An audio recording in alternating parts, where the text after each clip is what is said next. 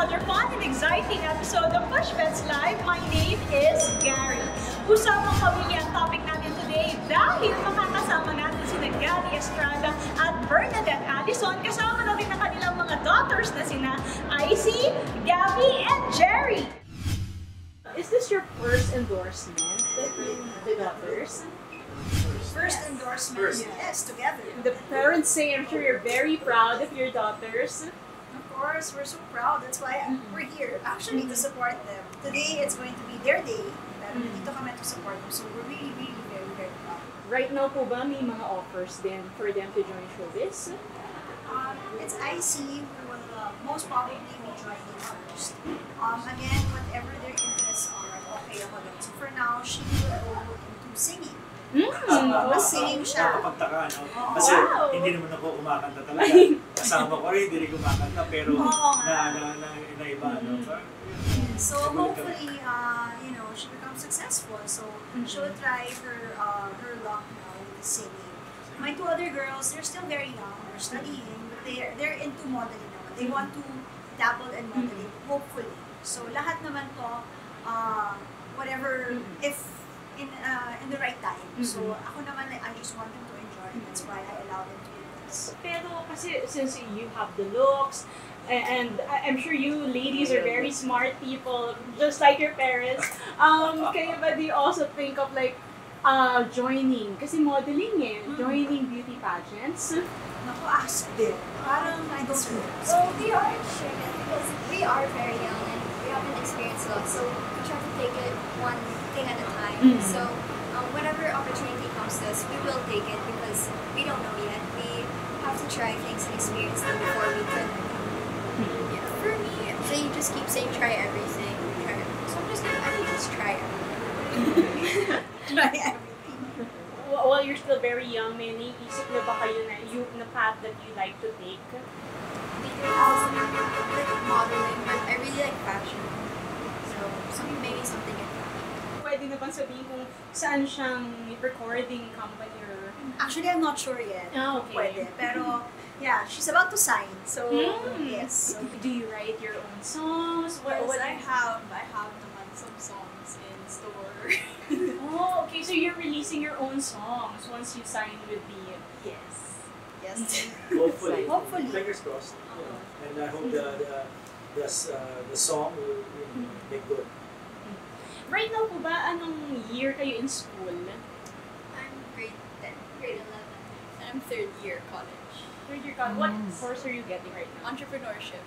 Oh, really? So what what do you have like a business now or probably business in mind someday? Well, I'm taking my thesis, and our thesis is actually making a business. So it's like organizer mm-hmm. rattan products. But then, yeah, I'm hoping to have my own business. I've always wanted something makeup mm-hmm. or you know skin or beauty related. Mm. Speaking of beauty related, congratulations for being the faces of Facial Care Center. Thank you. Uh, what can you say? This is this is your first endorsement, right? It's very exciting, especially to do it, um, you know, with my sisters. It's like bonding for us. Mm. We get to share this experience together. What's your beauty routine? Um, mine is very simple. I just like wash my face and put moisturizer, but I like regularly get facials here. So and the laser light treatment. yeah, and me also. I think we always try to keep it simple, try to keep it clean, not so um, Complicated. Yeah, and complicated. Mhm. So um, also facial care. We usually get facials, the honey almond Mhm. facials, which are really good for your skin, exfoliates, and I feel like we're taking care of our skin without having to worry so much. Same with me. Just uh, wash face and then moisturizer, sunscreen, Also- the facials also. Mm. It's super simple. Gusto niyo bang pumasok sa showbiz, maging artista din? And ano ba yung gusto niyong proyekto? Genre that you'd like to take? I'm sure you're watching mga K-dramas, mga ganyan, di ba? Hindi sila ito kay drama. Ay, hindi pala! Oh, kayo Ah, pala! kay drama. Oh, okay. I should try it, but like right now, that that wasn't like my dream. But I would try it because I do love watching movies. So Yeah, among the three of them, siya yung nakamana kay Gary that can watch movies all day, like marathon. So he- she would really finish movies movies and watch it on her own. Mm-mm. Yun. And it really shows with her um with her personality because she grabs those movies and then she like makes it her her whole wardrobe, her whole her whole inspiration. so Yeah. it's like kinda me, I'm just like a toned down version of that. What genre would you? Genre of music. Oh, Of movie. It's so cheesy to say rom com, but then rom com. Yeah, Yeah. rom-coms. My dream is ano, horror. I want. She I really really want to do her horror Yeah, I want to do a horror because I, I have such a good horror scream. I have a good horror scream, so I want to try doing a horror film. I was expecting one of you will answer action kasi your dad was Also, maybe action. her, maybe her. The three of us. Quiet lang siya, di ba? Quiet lang siya, pero I'm sure may mga naliligaw or kasi gaganda ng mga anak niyo eh. So how are how strict are you when it comes to these things? Ako ba? Ako, ako I'm not so strict. Ah, yung manliligaw, actually, hindi ko alam if uso pa sa kanila yung mga manliligaw eh. Ah, my two girls, wala pa naman. Si IC, meron siyang, meron ako nakikita.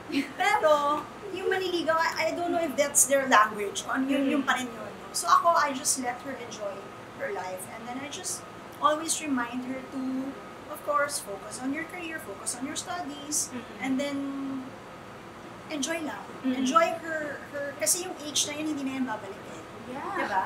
Don't say that. So, meaning, yung 18 ka, yung 19 ka, you know, the pandemic took away two years of their life. So, gusto ko sila mag-enjoy. So, I really want them to enjoy. Wow. Basta I always remind them to be to be safe and Mhm. always report to me. Ganun lang. What about you, Sir Gary? Ako pa rin ba? Hindi ko, ano Don't think Ano naman siya? He's like, He's He's like- he's like- actually doesn't very supportive. Oh. Strict but supportive. Strict No, siya. he's not Not even strict, no? Sa akin niya, actually ako yung binabala niya eh. Mhm. Ako talaga yung, ako yung shock absorber ng lahat eh. So, ah, strict but then, hindi niya masyado pinapahalala. Oh, strict pero hindi. Chill, chill. Chill lang din, chill lang. Mahirap siguro sa sa aming magulang, lalo sa lalaki.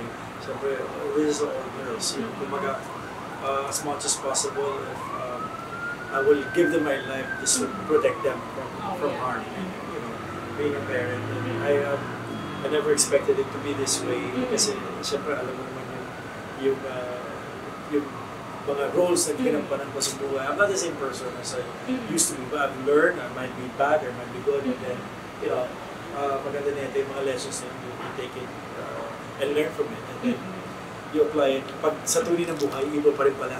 Yeah. Like, uh, kala ko magiging, ano, ako yung stricter. Hindi, Mhm. tahimik lang pala ako, passive lang pala ako. Actually, Pero no, I- sinasabi ko sa kanya, ayoko to, ayoko to. Oh! Actually, hindi siya strict eh. Kasi he listens. Yun, that's what's good about him. So, syempre, bago to sa amin. You know, Mhm. Lalo na sa kanya, the three girls, di ba?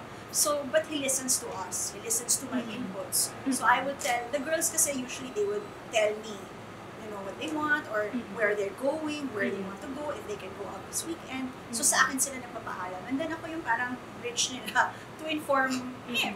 And he would listen. Hindi siya close-minded. He would listen. If uh, there's no other lakad, if there's no family thing that's going to happen, go. How are they as parents? Wait, he said sometimes also to that, whatever you said. Oh. He Oh? said sometimes. So, maybe he is stricter. He Oh, is yeah. He is stricter. He is. He is. Baka nababottled up na. No. Hindi naman. Because he has like a scary exterior. So, like we think maybe we should um bridge our way through multiverse. That's our tactic actually. When we're gonna if we're gonna go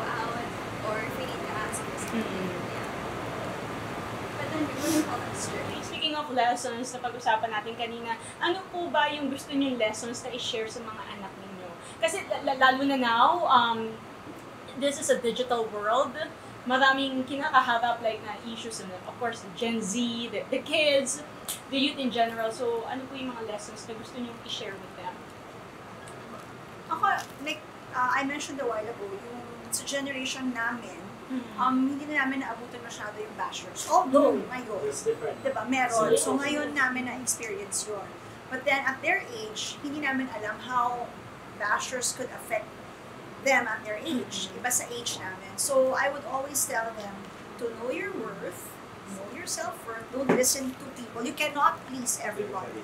So, ang importante is, yung sinabi ni Gary kanina, wala kang tinatapakan, you know, not stepping on anyone's uh, shoes, at tuloy-tuloy lang, just move forward and always be respectful of the people around you, whether may pangalan, walang pangalan, crew, staff, um, president of the Philippines, or whatever, basta kailangan, you know, you're, you're respectful of the people around you.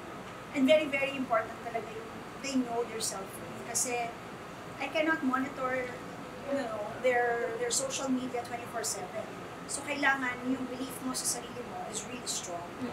Yun, halos sinabi nila. lahat. And always protect the family name. Mm. I always tell them, you know, like, uh, siyempre, I, you know, I came from th- this line of, uh, of uh, family, like, the Hercitos. Uh, kumbaga, eh, uh, always try to uh, protect the, the, the name. Kasi, uh, yun yung, ano, eh, yun yung isa sa mga pinapangalagaan ng pamilya namin. And I always, uh, always tell them, uh, you, doon na, huwag niyo sisirain yung naumpisahan ng pamilya. And na, na, not not only that, with Kiko, I always, I always tell him this kasi yun yung ano eh, doon, doon nakilala yung pamilya. Eh, yun din yung magbibigay sa uh, ng uh, respeto. If you treat each uh, everybody with respect, you will earn that also in return. And they will be the one to guide you. Uh, sila din yung maglalagay sa mag, magtatanggal sa iyo. Uh, yun ang tinuro sa akin kasi ng aking father and, uh, and uh, my uncle and I saw I saw those things eh. Kasi when I was young, I, I used to watch them siguro katulad nila ngayon, yun din yung nakikita nila sa ginagalawan namin. Eventually, uh, I don't know if they will or not, but at least meron na silang magandang upbringing. Yun, yun yung ano eh, yun yung napaka-importante, yung upbringing. Kasi whether pumasok sila sa, sa pag-artista or not, uh, yung values na naibigay namin sa kanila, it will, eh, in the end of the day, that will always come. It will, ano, it will be the basis of your being human being. And the values you would, uh, you learn and you would uh, bring up. That's it, Bushmates. We hope you enjoyed this episode. Stay tuned down for more celebrity updates. Don't forget to like, follow, and subscribe to our social media vocês os personagens.